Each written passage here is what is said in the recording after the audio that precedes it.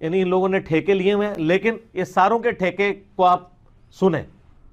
ये नहीं है कि आप वो ठेका लिया तो वो गलत बात ही करेगा। जो सही बात है वो ले लें, जो गलत बात है वो छोड़ दें। लेकिन ये कदगर हम कतर नहीं लगाने देंगे कि जी आप तोहहीद के ऊपर आप पहले दीस के बयान सुनना छोड़ दें, फ़जाइल से आबा पे देवबंदियों के बयान सुनना छोड़ दें, या आप नबी इस्लाम या बुज़ुर्गों के बारे में बरेलवियों के छोड़ दें। हम कहते हैं छोड़, छोड़ना दें, सुने। उसके बाद सर हमारी वीडियोस भी देखें। फिर जब हम इंजीनियरिंग करते हैं ना, वो सारे बुज़ुर्गों के वाक़ात की पूरी इंजीनियरिंग जब होती है ना तो वो लोगों के सामने हक और बातिल खुल के आ जाता है। ये अरसे से कहानी कराई हुई थी शेख अब्दुल कादर जरानी के सामने अल्लाह ताला एक बादल की शक्ल में ज़ाहिर हुआ, का अब्दुल कादर, तू आज के बाद तुझे सारी नमाजें माफ़।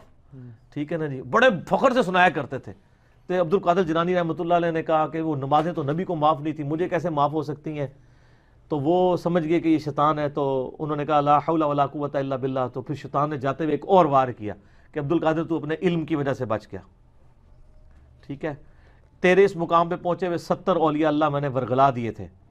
तुझे तेरे इल्म में बचा लिया। तो उन्होंने कहा, नहीं, मुझे अल्लाह के फजल ने बचाया। वो कहते सुबहान अल्लाह सर, अब इसकी इंजीनियरिंग हो चुकी है। इंजीनियर साहब के दुनिया में आने के बाद, दुनिया में छोड़े जाने के बाद। कि सर, ये बताएँ, आप तो कहते हैं पीर पकड़े। शेख अब्दुल कादिर जदानी के लेवल के सत्तर लोगों को शैतान ने जो है जिन्हों कहते ना गोडे थले दे के टा लिया और दोजख में पहुँचा दिया। वो सत्तर गोसों के मुरीद किधर गए हैं? ये है इंजीनियरिंग वो भी तो ये भी तो इस वाक्य से निकलता है ना कि जी अगर इकहत्तर पी रहे हैं तो बीच में सत्तर ऐसे हैं जो स्थान के थे चढ़ेंगे। हम्म, और एक बचेगा और ये भी उस जमाने की आज के तो मेजोरिटी चढ़े। ये इंजीनियरिंग नहीं हो रही है। तो हम कहते हैं पीर उसको बनाओ जिसको अल्लाह ने हमारा पीर बनाया इमाम आज़म मोहम्मद साहिबुकुम वमा गवा तुम्हारे नबी ना कभी बह के है, ना कभी बेरा चले। उनको अपना पीर मानो।